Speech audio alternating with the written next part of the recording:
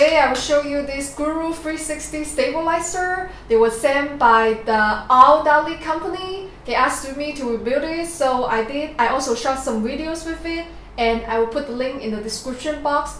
I'm going to put the 360 camera on the stabilizer. And I already put this counterweight on because I've shoot with this stabilizer before.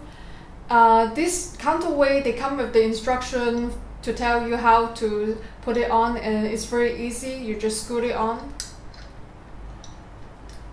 And on the side there is a arrow here. It's pointing up. That means you are uh, going to the right direction your camera. But if they are pointing but if it's like this it's pointing down then you're doing the wrong thing. So it gotta be point it's gotta be up. This is the thumb screw on the top and I will put it on it but first it needs to be in the center I think. Otherwise it will tilt it back and forth and uh,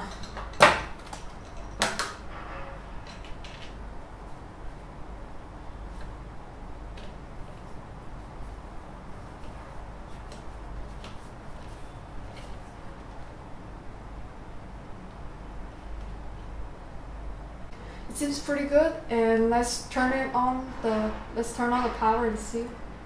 Oh yeah look.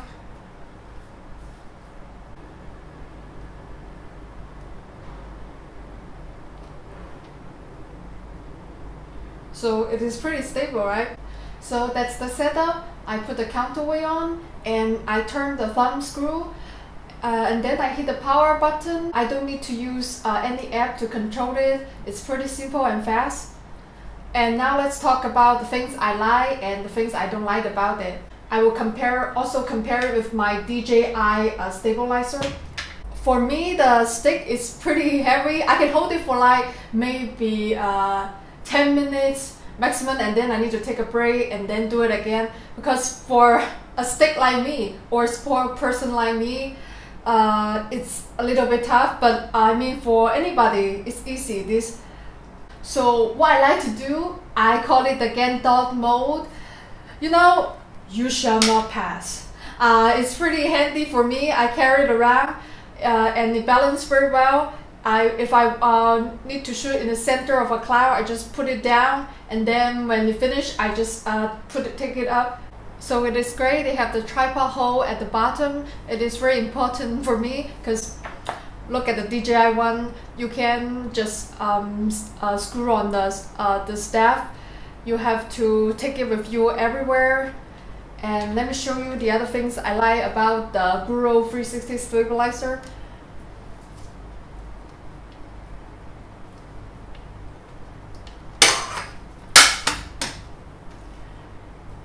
So the head and the stick, they, they are actually separate. You can separate them. You can separate the handle from the head. But the DJI one, it comes with a whole piece and there is no way that you can just if you're you're not using it for the 360 camera, if you're using it for the phone or other cameras, you you cannot just unscrew this and switch to a 360 camera. You have to buy a whole piece uh, just for that function. But the Guru 361 if uh, you're going to switch it to your cell phone you can just unscrew it and put the cell phone hat on. So that it's a that is also a very big feature. There is another cool thing about this Guru 360 stabilizers uh, I use it to shoot um, from different angle, like this. And uh, it's in the description box. It came out really awesome and uh, it's really cool and I think I will uh, shoot it like this in the future also. And you can just wiggle wiggle like and there is a joystick here. You can turn 360 to um, you can turn all the way around.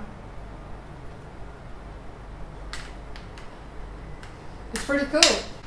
Let me tell you about something I don't like very much. You might heard it bend itself a couple of times and it already got scraped up a little bit uh, because there is no limit on the motor.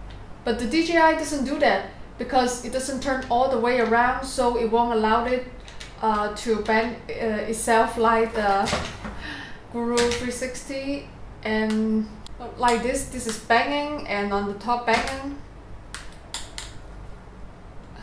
And it's already got a little bit scraped up everywhere. Even though I don't like banging and I wish it comes with a case but the video quality is so much better. You guys will see uh, in my other link. Uh, you guys probably will say oh it's because it's free and yeah I got it for free but from the video you can tell the quality is different from my previous video. And uh, I didn't use the Xiaomi digital stabilizer. Uh, I only used um, uh, Guru 360 and when I export the file I turn both of them off. But it still comes out so nice. So it's definitely worth the price. And if you're really considering buying one please check out the link I put down below and uh, if you buy from my link they will know it comes from me. I really appreciate it and thanks a lot for watching